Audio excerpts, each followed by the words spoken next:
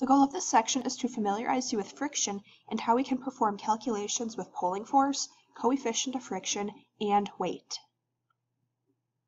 Let's go through a few definitions first. Friction is a force that resists the relative motion of two objects in contact. It is caused by the roughness of the surfaces in contact with one another. Friction can be a good thing in some cases. For example, without friction, your tires really don't grip the road. In winter, when there is snow or ice on the road, there is less friction, making it easier for you to lose control or not be able to stop your vehicle. If you rub your hands together, the friction causes them to heat up. Writing with a lead pencil wouldn't be possible without friction because the friction between the lead and the paper is what causes your writing to show up. Using a screwdriver it would be difficult without friction since the friction allows you to grip and turn the screwdriver. In a belt drive, without friction, the belt might fly off the pulleys. However, friction can also be a bad thing. For example, in car racing, the friction between a car and a wall can wreck the side of the car and cause it to move slower. Skin rubbing on your boots is an example where friction can give you a painful blister. In an engine, friction is a bad thing because it can wear out the engine faster, which is why we need oil and other lubricants. Air drag is an example of a friction that causes your fuel economy to de decrease. Even though friction can be a bad thing, there are ways we can reduce friction. For example, ice and snow reduce friction, although this may be considered a bad thing. Oil and grease also reduce friction between metal parts, which is why you need oil in an engine. Wheels and bearings reduce friction since they constrain the relative motion it, and reduces friction between moving parts to only the desired motion or free rotation. Graphite helps reduce friction since it acts as a dry lubricant. You can also reduce air drag by a more streamlined vehicle. Let's take a look at the types of friction moving objects encounter. Starting friction is a force that opposes the start of the motion, just like its name says. Sliding friction opposes the motion once the objects are already sliding against each other.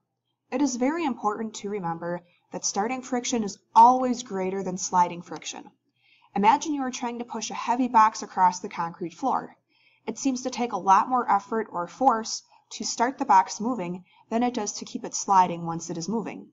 Since it takes more effort to start it, starting friction must be larger. One other thing to remember about friction, it is a force that always acts parallel to the surfaces in contact. In this picture, we have a box resting on the floor. We apply a force to the box, which is the pushing force, so the box moves from left to right. Friction acts parallel to the box in the floor and it opposes the motion, meaning the force arrow for friction points in the opposite direction of motion. Another force we need to talk about is the normal force. The normal force is the force of two objects that are in contact with one another exert on one another. The normal force is perpendicular to the surface. The normal force will make a little more sense once we talk about Newton's third law of motion in the next section. In the picture here, we see an arrow pointing down and an arrow pointing up. The arrow pointing down represents the force of gravity acting on the box. The force pointing up is the normal force from the box being in contact with the floor. Without the normal force acting in the opposite direction as the force of gravity or the weight force, the box would fall through the floor. If we have someone holding a doorknob, for example, the friction between your hand and the doorknob will increase as the force between the two surfaces increases. In other words, if you grab the doorknob loosely, you can't turn it to open it. As you apply more force to the knob or grip it tighter, Friction causes your hand to catch on the knob and be able to turn the knob. Essentially, the more friction you have, the easier it is to turn the knob. What if we had oil or lotion on our hands? No matter how tight you grip the doorknob, you can't turn it.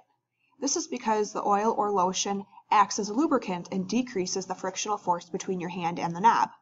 In the next video, we will look at the formula we will be using to solve friction-related problems.